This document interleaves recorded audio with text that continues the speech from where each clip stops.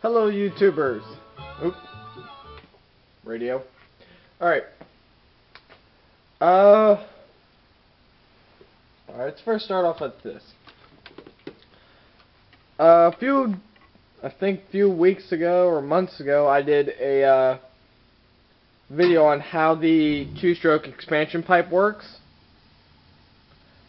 Well, now I'm going to show you how the Boy Go Fast or any other reed valve kit works or how reed valve work on a two-stroke engine.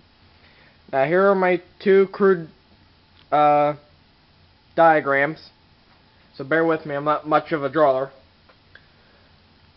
Alright, so right here is our reed valve.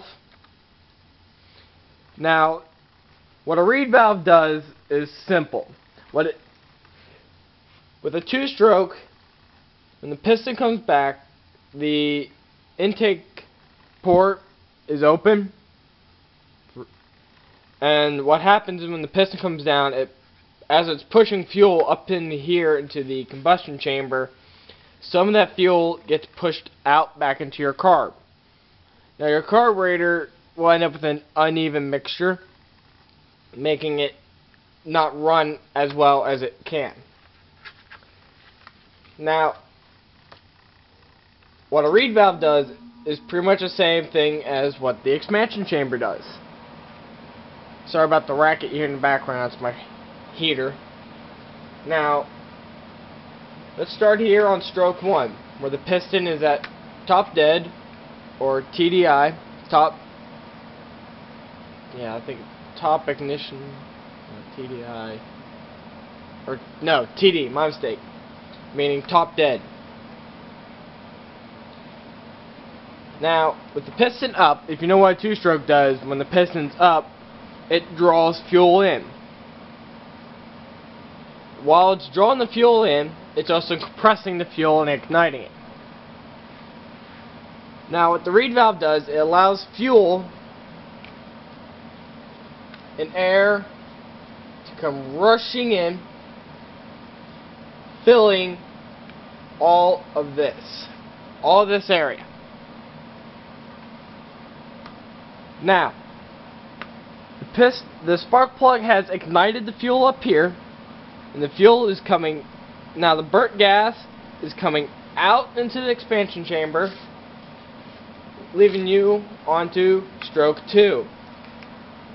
Stroke 2 is where the piston is coming down but your reed valve shuts due to uh, pressure coming back up in. It closes, not allowing any more of the fuel and air to come back up through into your car.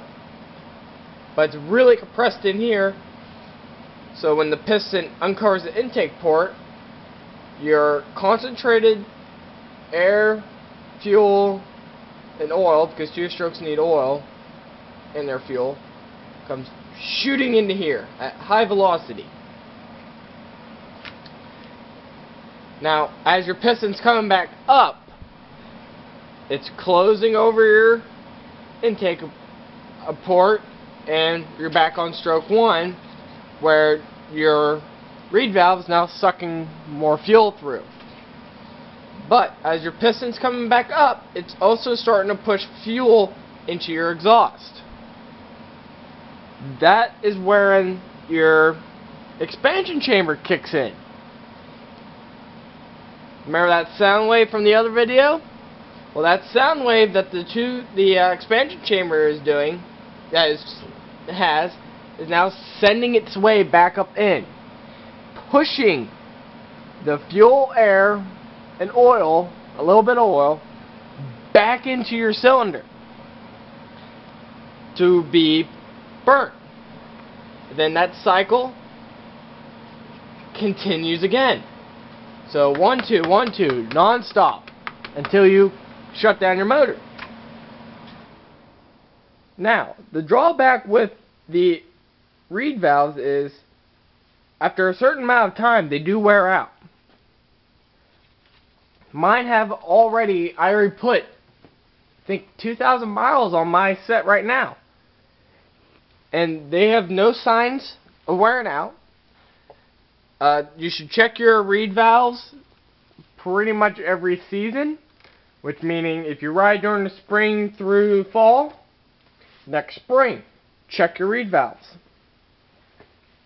And they're not expensive to replace. I mean, my set, maybe 25 bucks, I can get a whole new, whole new uh, housing, reeds, reed block.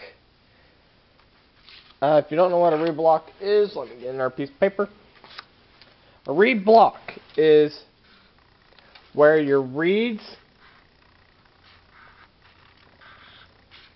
sit. So it's they're usually either in a triangle format. So this little black piece here for mine is your reed block. There's a gap in here to allow your fuel and air to go in. Then you have your reeds. So what you want to check is on your reeds, you take it apart, take a look at your reed block, check your housing too for any damage because you never know what could happen. But your reed block and reeds are all in one piece. Take that out and you look at your reeds. There's any feathering on the end or does it if it just straight out looks worn out, uh, get them replaced and you just put it all back together, bolt it onto your motor and crank it up. But reed valves are one of the pretty much best things you can do for like a two-stroke for like the gas bikes, um, dirt bikes I think have them, ATVs, any two-stroke. Not like your weed eater and hand mowers, which I think some hand mowers don't have them. I would have to get my book out and look. But most your weed eaters do not have reed valves because they're so small and the fuel that comes back up is such like a low amount in the way the piston is designed that it acts like the reed valve. Grant there is still a little bit of gas coming up through. So that's how your two-stroke reed valve kit works. Uh, like, comment, subscribe, follow me on Instagram, and look forward for, to further videos. Adios.